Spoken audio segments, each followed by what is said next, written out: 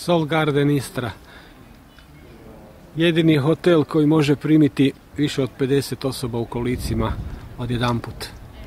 Nas je 55 u kolicima sada ovdje.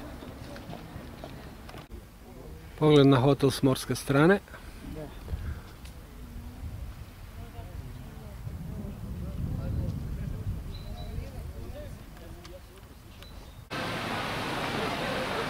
Ovo su vanjski bazeni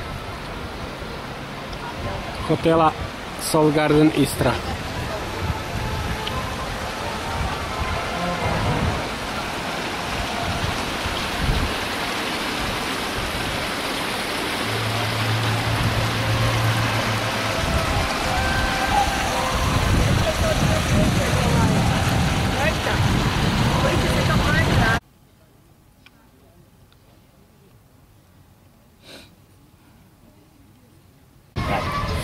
Šta je ovo, utrke? Utrke, utrke. A pogledaj ovo, slikanje za uspomenu. Ko je ovo slikanje za uspomenu, majko moja? Ups!